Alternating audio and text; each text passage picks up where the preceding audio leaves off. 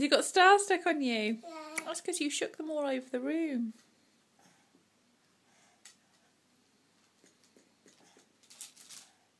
Doing some good fingerprinting. Mm.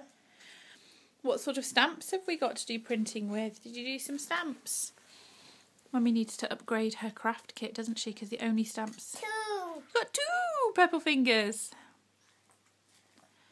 Yay! no. Are we finished? No. Do you want to do some stamps with it? We've got very boring stamps over there. We say things like improving work and try again, don't they? When we've only got her work stamps. This is a good one though, isn't it? This says, Great work! Yay! Uh oh, very purple boy. Oh, I see. Going for a whole handprint. I think we'll go straight from here to the bath. What do you think, Rosalind? I don't like me being this messy, mummy. Oh, keep it off the car, only on the paper.